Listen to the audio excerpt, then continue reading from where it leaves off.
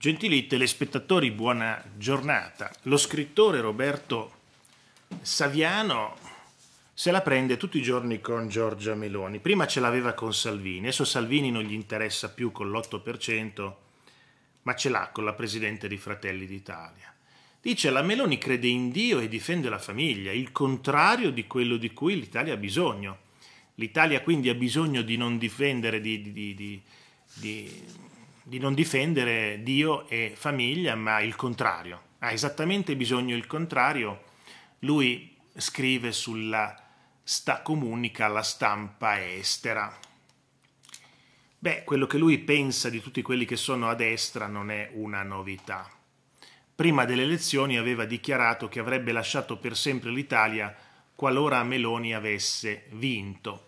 Poi la Meloni vince e lui dice i suoi elettori mi dicono di andar via dell'Italia, fanno le liste nere. E qualcuno dice, ma scusi, ma non era lei detto che aveva detto che se vinceva la Meloni se ne sarebbe andato definitivamente? Come dire, allora non mantieni le promesse, eh? parole al vento. Ma lui da lì ha cominciato a vedere liste di proscrizione con il suo nome.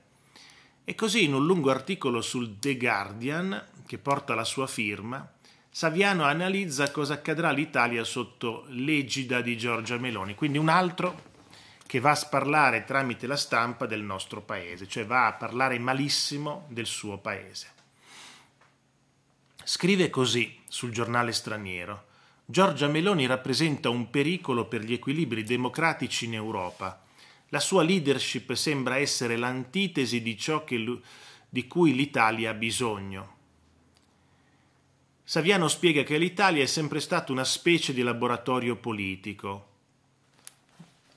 Eh, Silvio Berlusconi ha fatto da pripista a Donald Trump, Mussolini ha fatto la pripista al dittatore tedesco, quindi vede che l'Italia è l'inventore di tante cose che ci sono nel mondo.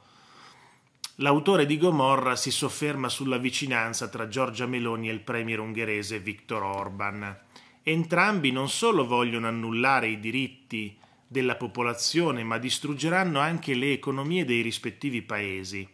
Saviano spiega che Meloni come Orban hanno ottenuto il consenso popolare fornendo un finto senso di sicurezza che i cittadini pagheranno con la povertà e la perdita dei diritti come la legge 194 e altri solo che la Meloni non ha mai parlato nel suo programma elettorale di togliere i diritti, ma lui, come ad esempio Crozza che ho visto in un'imitazione, fa intendere, fanno intendere che non c'è nel programma ma lo, lo faranno. No? Dopo un anno, due anni, tre anni, ci sono tante cose che non sono nel programma e che questi personaggi politici faranno nei loro paesi. E poi immancabile il confronto tra, tra la leader di Fratelli d'Italia e il dittatore italiano degli anni venti. Dice Meloni dice di non essere fascista ma poi difende Dio, patria e famiglia. È la figura politica italiana più pericolosa proprio perché non evoca direttamente il fascismo, è ambigua, eppure con la sua ambiguità minaccia i diritti delle persone e incoraggia gli xenofobi. Saviano addirittura tempo fa arrivò ad appellare la Meloni in un certo modo, per questo andrà a processo il prossimo eh, novembre. All'indomani della vittoria di Fratelli d'Italia ha accusato gli elettori di centrodestra di volerlo cacciare dall'Italia per alcune battute sarcastiche sui social.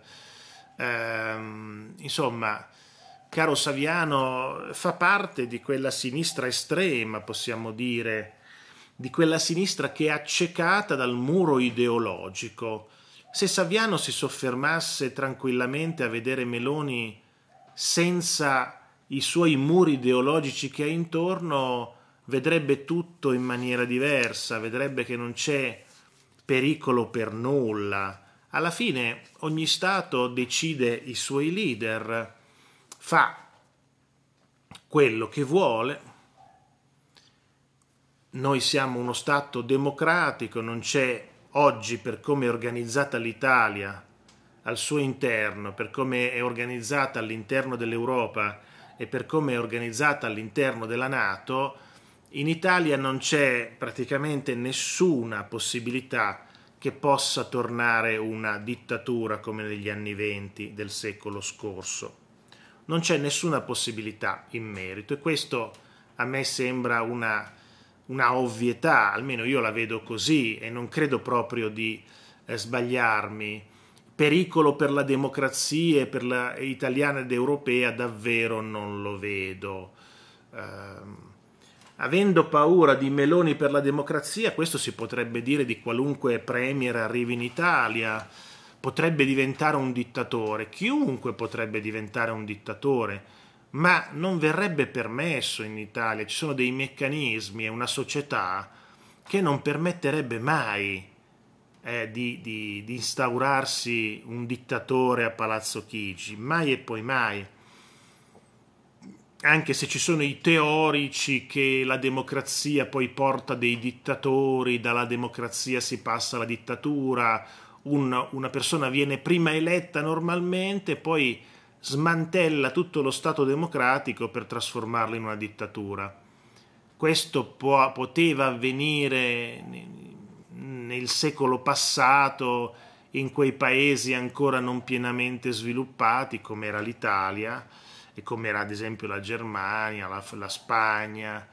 Ecco, in paesi con una democrazia un po' primordiale, dove c'è il re, imperatore, insomma, è facile anche arrivare al potere coi voti e poi trasformare tutto. Ma oggi questo, a mio avviso, è assolutamente impensabile. Però, naturalmente, c'è chi pensa c'è chi pensa queste cose eh, e le penserà sempre come Saviano e tanti altri. Bene, io vi ringrazio per avermi ascoltato, vi auguro buon proseguimento di giornata, ci vediamo al prossimo video tra una ventina di eh, minuti, ricordatevi che poi c'è anche l'altro canale che si chiama Teleitalia Seconda Rete dove ci sono video di politica, di notizie, di fai da te e poi c'è anche l'altro canale che si chiama In Cucina con Carla dove trovate video di cucina evidentemente. E quindi, e quindi, e quindi col giubbotto d'Arelli ci vediamo tra una ventina di minuti per un altro video qua sul canale. Auf Wiedersehen, goodbye, hasta luego, arrivederci. È un saluto di un'altra lingua. Arrivederci a tutti e grazie.